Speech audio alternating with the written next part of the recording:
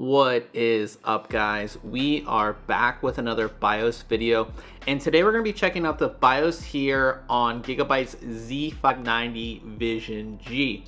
Now the Vision series of motherboards from Gigabyte are really geared towards content creators, digital artists, and things like that. And they've made their boards white and they've made the BIOS white so you can see that we have this really white design BIOS. This is just the skin of Gigabyte's normal BIOS. So, you know, while this is for the Z590 Vision G, this BIOS should be pretty much the same across all of Gigabyte's Z590 motherboards. So We've set everything back to its default, so this is how you should see the BIOS if you're loading it into it for the first time. Now, if you wanna know how to get into this BIOS, how do I get to this screen? When you turn your computer on for the first time, keep on hitting the delete button, not the backspace, the delete button on your keyboard. Just keep on hitting it and you'll be loaded here into the BIOS. And when you get loaded into the BIOS here, you'll be on the easy mode or the shortcut screen as I, as I like to call it. Um, so when you load in here, you do have full control with your keyboard and your mouse, as you can see. Here we have information on our board, the BIOS version that we're running, information on our CPU and our memory. Over here, we have a live view of our CPU frequency, CPU temperature, CPU voltage, and PCH or chipset temperature. Below that, we have our memory frequency, system temperature, memory voltage, and our VRM temperature. Below that, we have our DRAM status. It shows that we have two sticks of G.Skill memory installed. They're each 8 gigabytes. Over here kind of gives you a view of what you have installed in your system. So on our SATA ports, um, port zero, we have our Samsung SSD 870, um, 500 gigabyte uh, solid state drive. PCIe, we just have our one graphics card and we can see it's running um, at PCI Express 4.0 at X16 speeds. M.2, we don't have any M.2 drives installed, but if we did, there are four M.2 slots on this board and whichever, you know, drive you have installed will correspond with where you have it installed right here. So this is really good to see if you're like having trouble with like a graphics card or a drive or something, you can see if it's being detected in the BIOS and that's kind of where you start your troubleshooting. So it's good that you kind of have that here.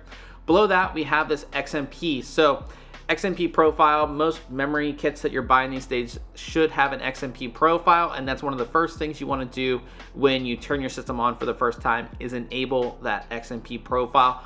Most motherboards that I've experienced, XMP profile will not be on by default, so you just simply click it and it enables our XMP profile running our memory at 3600 megahertz. Again, turn it off, turn it on, that's simple. Boot sequence right here. Now we only have one drive installed, but if we had multiple drives, we could easily drag and drop them right here to set our boot sequence. Moving over here to SmartFan 6, this shows you the fan speeds of all the fans you have connected to your motherboard. We only have our CPU fan, so you can see the live fan speed here. You can also click into this and brings up this nice interface that allows you to tune all of your fans, allows you to set the fan curves, and everything like that for all of the fan headers that are on the board. Just makes it really easy so you don't have to download software later in Windows to do this. You can do it all in the BIOS very easily. To get out of this screen, you just go to uh, this back right here or you just hit escape on your keyboard. Over here, we have Intel Rapid Storage Technology. If you want to turn that on or off, you just click right here. We can change the language. We can bring up the help screen um, by clicking here or hitting F1, but it just basically gives you all of your keyboard shortcuts um, right here, which will, you know, show you different things or how to, you know, uh, you know, F10 is save and exit, F11 go to favorites, all of that. Advanced mode is F2. We will be going into there in just a second. SmartFan 6, we were just in there, but you can hit that, hit uh, F6 anytime and it will go into that. Load optimized defaults. It will load the BIOS defaults. Um, you can hit F7 anytime you're in the BIOS to load those defaults. Q flash, this allows you to easily flash your BIOS. So if you are going to be updating your BIOS, which I would suggest, this is, makes it very easy to do. Also, Gigabyte does offer a way to do it via Windows um, with their @BIOS software. Again, that works just as easy as well. Save and exit, and then our favorites menu. So our favorites menu is in the advanced mode. Um, there We had favorites here, and now they're not there anymore because we just updated our BIOS. But this is just a menu that allows you to put different settings in here um, that may be on different pages that you can all find in one very easy you know, one very easy section right here. We can hit escape and go back, and then we'll go to advanced mode, which will be F2. And when you go into the advanced mode, it's going to drop you into the tweaker section. In the tweaker section is all of your settings, everything that you're gonna need to change to overclock, everything that you're going to need to really tune your system. CPU upgrade, I would just leave it at default. Um, it is like obviously set to default, but you have a gaming profile and an advanced profile. Again, I would just leave it at default. CPU base clock, that's your BCLK. Typically, it should always be set at 100. Um, enhanced multi-core performance, set to auto. CPU clock ratio. Now, if you want to set your base clock to something higher, if you want to do a quick all-core overclock, this is how you would do it. I'll show you another way to overclock as well, but you can just change this. You just hit enter or click on it and then set whatever you would want. So it's at 35 or 3.5 gigahertz, but we can set this to something higher like 4, 45 or 4.5 or 5 gigahertz. Whatever you want to do, you can go ahead and set it. Um, very easy to do right there. We have a ring ratio, IGP ratio. Under advanced CPU settings, um, this is where you can change a few things. Now on this board specifically, I would change your CPU over temperature protection. For, if you have it set to auto, it's set to a lower value than the TJ Max, which is 115 degrees. Um, we ran into thermal throttling problems when we went to overclock on this board. I don't know if it's set to like 90 degrees or 100 degrees. I'm not sure, but you definitely want to change this. And it's really nice. I've seen so many boards that don't actually list the temperature values. They list a weird value, then you have to do some math. Here, you could just set it to the TJ Max, which would be 115 degrees. Oops, there it is. And you know, you just set that. Hyper threading you can turn on or off. Um, Intel speed shift, CPU thermal monitor, all of that stuff.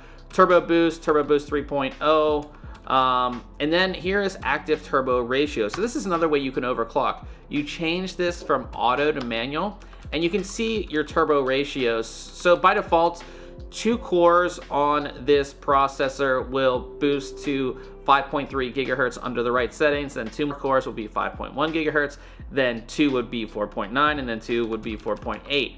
Now, if you, again, you wanted to, to do an all-core overclock, but you don't want it to, that to be your base clock, you can actually change these to, you know, maybe you want to do an all-core overclock of, oops, not, not 127. Uh, we want to do an all-core overclock of 5 gigahertz. We would change each of these values right here to 50. And then when our CPU boosts, it will boost up to 5 gigahertz on all cores. So you would change all of these if you wanted to. By default, again, this is set to auto. And you can, of course, change all of these settings in Intel's Extreme Tuning utility as well. Um, per core, hyper-threading disabled, C states, if you wanna set up all your C states, you can do it here. Turbo power limits, turbo per core limit control. Again, you can change this as well. Um, and that is everything in the advanced CPU settings. Your XMP profile stuff is here as well. So again, by default, it's disabled. If you want to enable it, you just do that there if you didn't do it in the easy mode. If you wanted to overclock your memory, so our memory set at 3600 megahertz. If we wanted to overclock it past 3600 megahertz, we just go into this menu and set it to what we want. So if we wanted to go a little bit higher, um, maybe 30, what, what can we go past 36, 3700 megahertz or 3800 megahertz, you would just change it right there and then save it and see if your overclock would work. We'll set that back here. We disable, uh, oh, won't set it back. So we'll have to put this back to, oops, one wrong way, to 3600 megahertz here. Um, and then advanced memory settings. Again, this is everything to do with your memory. One thing a lot of people want to do is change their timing. So they want to tighten or loosen their timings, maybe for an overclock. You can do all that here. You can see all of your timings right here as well. Um, so you can change all that in here. You also have your SPD info or your memory info. You can see what's installed, all of the all of the information on your memory that is installed. Go out of there. And then we have all of our voltages. Now, if you are overclocking, I would really suggest that you change your V core voltage mode from auto to either, you know, adaptive override or fixed core. I like to do fixed core because I like to control my V core. That is the voltage that's being sent to the CPU. And we set our CPU V core. Typically, you start at 1.3. Uh, oops, let's go to 1.3. Oops, I'm going the wrong way. Um, for some reason, it's, oh, this is 1.1.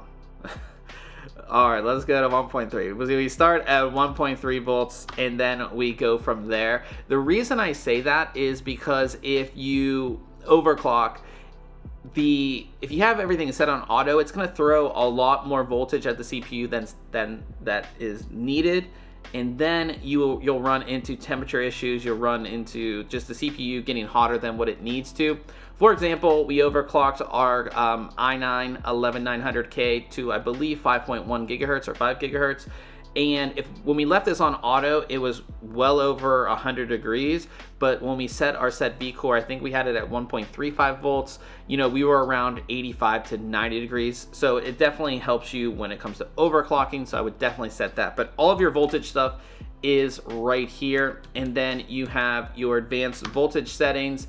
Again you can change your advanced voltage setting, settings. And then for people looking for load line calibration it's right here in CPU VRM settings. You can set your load line, load line calibration on all of that if you wanted to. And it shows you the scaling right here so you can see the different, you know, load line calibrations. Again, if you're not overclocking, just leave this on auto. And that is it for the tweaker section. Again, it gives you everything that you need to overclock your CPU, to change different CPU settings, to overclock your memory, to change your memory timings, all of that, and all of your voltages are right here in the tweaker menu. Now we go to settings, platform power. This has everything to do, you know, with powering on your system, power on by keyboard, power on by mouse, resume by alarm. Um, everything to do with power is right here. Oops, I keep on hitting escape. Um, I.O. ports, Again, this allows you to turn, you know, turn on or off the internal graphics, to turn on the audio controller. We have Super I.O. configuration. We have USB configuration. Again, everything is enabled by default here. Network stack configuration. We don't have our network, you know, plugged in right now. NVMe configuration, no NVMe drive, but if we did have one, all of the settings for that would be here. SATA and RST configuration, this is all of your SATA ports. You can see that again, we have our Samsung drive installed here. We can enable or disable all the ports, set them up as hot plugs, all of that stuff you can do right here. Into, and then this is our ethernet controller we can see all the information on the ethernet controller again it is not connected so it says disconnected right there oops keep on hitting the wrong button. And then we go to miscellaneous. So this is our RGB control. There is a little bit of RGB on this board on the rear I.O. cover. LEDs uh, in system power on state. So if you want to completely disable the RGBs without having to install their software, you just turn this from on to off. It is set by on to on by default. So if you want your RGBs off, you just set this to off. LEDs in sleep hibernation or soft off states. So again, if you turn off your system and you still want the RGBs to light up, you can actually turn this from off to on and your RGBs will still be on as long as there's power connected to your system. So some people like that. You can set that up if you want. Um, TPM, we don't have a TPM device, but all of your TPM settings would be right here as well. Let's go back. And then PC, PC health status, that will give you a live view of all of your voltages. So again, if you wanna check something, you can see it right here. System info is the next tab. This just gives you the basic information that we kind of saw on the first, uh, or on the easy mode, information on the board, the BIOS version, uh, BIOS date. BIOS date is always good to see because you want to make sure you're, you're running the latest BIOS, so you kind of check the date there. Um, you can see your plugin devices info. Again, that is what we saw earlier. Um, here it's just a list. And then QFlash, again, we saw that, that allows you to flash your BIOS. So that's right here. Under boot, this is all of your boot configuration and boot option priorities. Again, we just have our one drive, so not much to do here. Um, oops, I keep on hitting the wrong buttons on my keyboard here. All right, we also have, what's weird in this, we have our mouse speed uh, in here, which is set to 1x. Um, I've never seen that in the BIOS. Maybe that's why this seems a lot smoother. Like my mouse is moving much smoother than the other Z590 BIOS that I checked out from Gigabyte. So that's a plus for me. Um, and then we can set passwords and all of that in secure boots right here.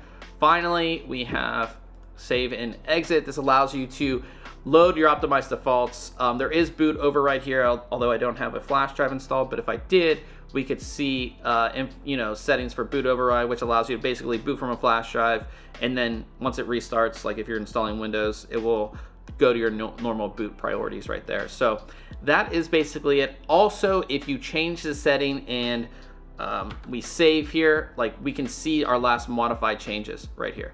Um, so if you're like, oh, what, what did I change this time? Right before you save, you can go ahead and see everything. Let's go back to the easy mode. Um, but yeah, guys, this is the BIOS. I mean, it is very easy to navigate. I didn't find any problems finding any of the settings here in the BIOS. I definitely do like the white. It's, it's, it's definitely a nice change. And as I said, it's this BIOS just seems a little bit more snappy than the BIOS uh, that I checked out on the Z590 Aorus Master, although they're pretty much the same BIOS with different skins, but I do like that my mouse moves around a lot easier. So if you guys have any questions about this BIOS or a Gigabyte Z590 BIOS, go ahead and leave it in the comment section below, and we'll see you guys in the next video.